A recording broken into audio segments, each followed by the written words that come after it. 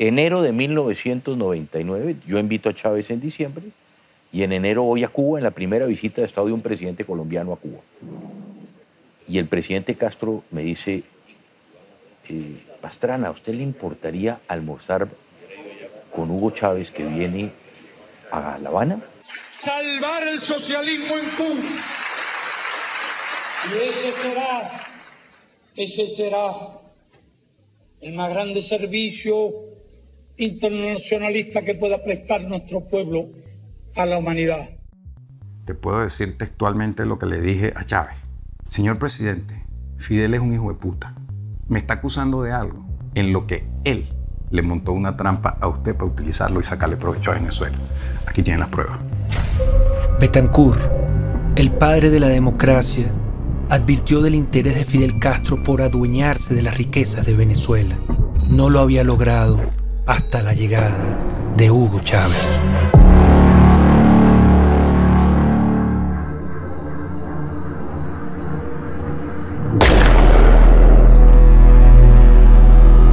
No logramos controlar el poder.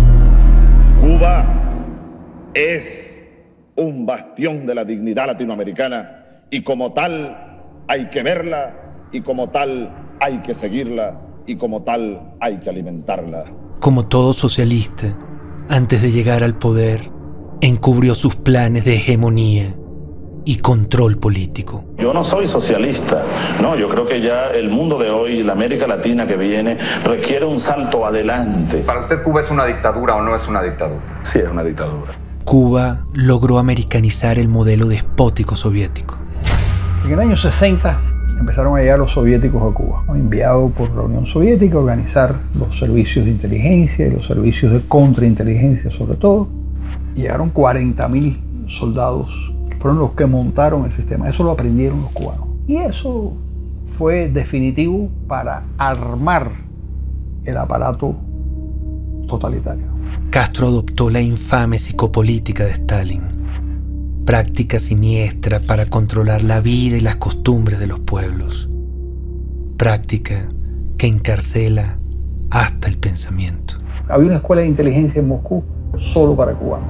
Esto es lo que le enseña y lo que le pone en la mano Fidel Castro. Una réplica de la misma metodología. Claro, ya no son los soviéticos, ya los soviéticos no existen en ese momento. Los cubanos hacen el, juegan el rol de los soviéticos. ¡Viva el comunismo! ¡Al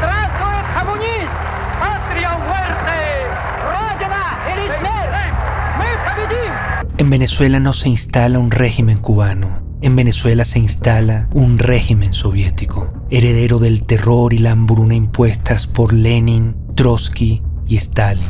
Cien años de experiencia aplastando sociedades, atemorizándolas y esclavizándolas. Esa es la fórmula que impone Castro en el país. Los venezolanos fuimos sorprendidos por tanta crueldad. Lo primero que hizo Lenin fue acabar con la prensa privada.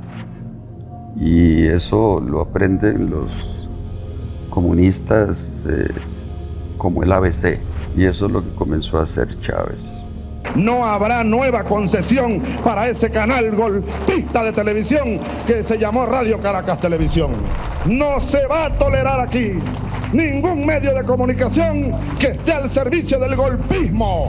Callar la disidencia, ahogar la crítica, amordazar el libre pensamiento Así es el socialismo. Mata la individualidad.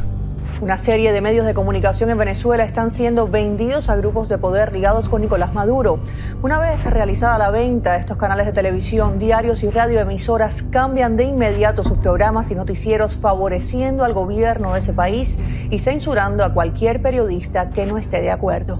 El miedo es el elemento fundamental que sostiene a esa a esos regímenes. Eso lo entendía muy bien Lenin. Hay una carta de Lenin extraordinaria donde le dice a sus partidarios que estaban lejanos en la Siberia, fusilen adversarios, no importa que sean inocentes. Lo que importa es que toda la sociedad tenga miedo, nos tenga miedo. Mientras eso no ocurra, no estaremos seguros en el poder. Esta oposición apátrida arrastrada asquerosa, porque ya hieden, hieden, dan asco.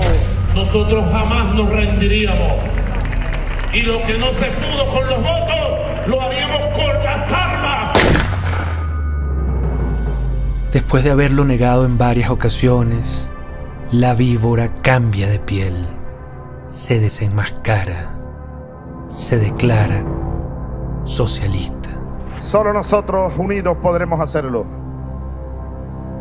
Y además, enterrar al capitalismo para parir el socialismo del siglo XXI.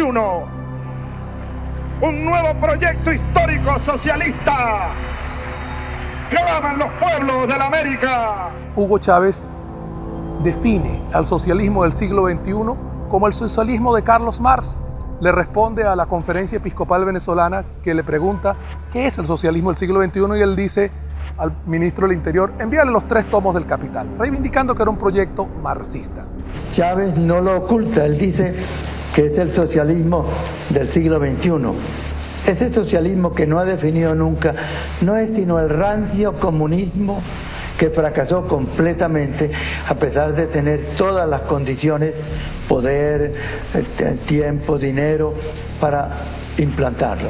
Y, fracasó en la Unión Soviética y en todos los países de Europa. La izquierda es un camino que en el fondo busca privilegiar a un Estado todopoderoso, omnipotente, omnipresente, que termina matando las libertades, las, los incentivos de las personas.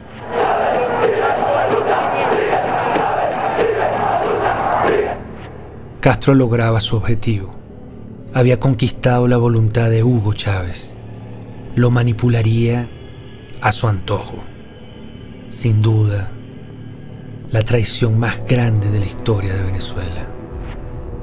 Un líder joven lleno de vida, al quien le quedan por delante grandes tareas que realizar, hasta la victoria siempre.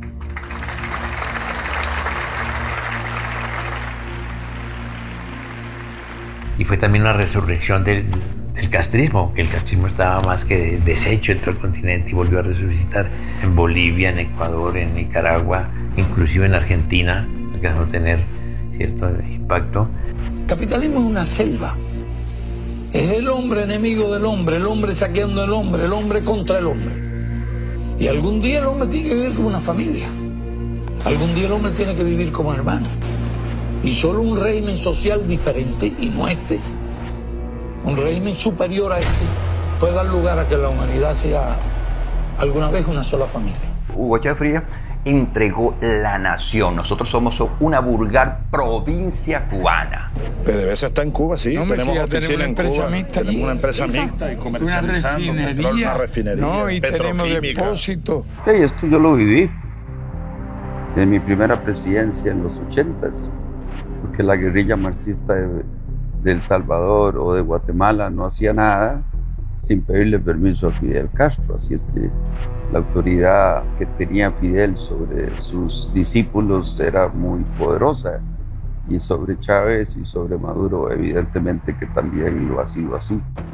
Por eso tú ves que en medio de la tragedia que, que vive Venezuela, Maduro ha ido más veces a Cuba que a Maracaibo los intereses de Cuba están por encima de Venezuela. Eh, Cuba sigue cobrando todo el, subsidio venezolano mientras a la gente le faltan medicinas y alimentos, mientras los hospitales se están cayendo a pedazos. Traidoramente, Chávez triplicó los aportes económicos que la Unión Soviética dio a Cuba. ¿Por qué el pueblo venezolano se va a quedar sin comida y sin medicina para seguir pagando la economía cubana hasta que le funcione la apertura con Estados Unidos. ¿Cómo es posible que tenga que el pueblo venezolano, a costa de su hambre y sus muertos en los hospitales, subsidiar el sostenimiento temporal de Cuba hasta que resulte la apertura económica?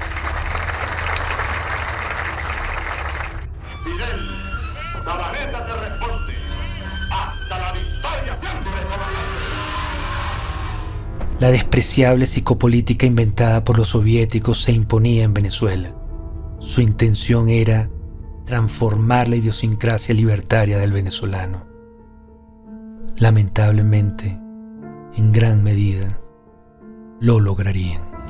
La cartilla casista decía que había que llegar al poder por la vía armada, que la única manera de derrotar las oligarquías imperantes en el continente era por la vía armada. Así surgieron nuestros, nuestras guerrillas, el, las FARC, el ELN y todas ellas. Señor presidente de Colombia, las FARC y el ELN no son ningunos cuerpos terroristas, son ejércitos, verdaderos ejércitos. Chávez no llegó al poder por las armas, pero desde el poder no dudó en usarlas contra el pueblo venezolano como hizo el bloque soviético y Cuba. Los venezolanos no son ni tienen ninguna vocación de convertirse en un pueblo a la cubana. Lamentablemente nos han llevado hasta ahí por vía de las armas, de la imposición y, de la violación de los derechos humanos. Desde aquí enviamos un fuerte aplauso a Fidel Castro y al pueblo cubano. ¡Que viva el cuartel Moncada! ¡Que viva la revolución cubana! ¡Que viva Fidel! Fidel le había dicho a Chávez y Chávez me decía a mí que yo no me empapaba mucho de revolución. Y voy a Cuba, ¿no? Entonces, y allí me entero pues de, de, todo el proceso que, que se está llevando adelante en Venezuela y lo que son las indicaciones de lo que hay que hacer para eh, llevar a buen término el objetivo grande de la revolución esta que lleva adelante Chávez, que es la transformación cultural de la sociedad. Eso que llamaron el socialismo del siglo XXI, que no es más que un comunismo disfrazado. El, el, elemento para lograr eso es mantenerse en el poder. Es necesario mantenerse en el poder durante un periodo de 30 años. ¿Usted está dispuesto a entregar el poder después de 5 años? Claro que estoy dispuesto a entregarlo, no solamente después de cinco años, yo he dicho que incluso antes. Hugo Chávez no tiene intención de dejar la presidencia de Venezuela, por eso ha vuelto a pedir que se ponga en marcha la reforma constitucional para establecer la reelección indefinida del presidente de la República. Les doy mi autorización para que inicien las acciones para lograr la enmienda constitucional y la reelección no se trata de perpetuar a Chávez en el poder, que no se trata de instalar una tiranía en Venezuela. Se trata sencillamente de darle más poder al pueblo de Venezuela. Es una obsesión de perpetuarse indefinidamente en el poder, es someter a el individuo a una sola línea de pensamiento, es perseguir a quien piensa y se expresa de manera diferente, lo reprime, lo encarcela, lo amenaza, lo amedrenta y son pues las peores copias de lo que ha ocurrido en Cuba por medio siglo, lo que ocurrió en Vietnam, lo que ocurrió en la Unión Soviética, lo que está ocurriendo en Corea del Norte. Ese es el chavismo, en mi opinión, visto desde el poder. Pura verborrea sin sentido que solo se la compra aquel que tiene hambre, solo le compra eso aquel que, que está subyugado que no tiene alternativa o que necesita para comer o que necesita un empleo, aguante esa verborrea. Капиталисты Англии, Америки, Франции ведут войну против России.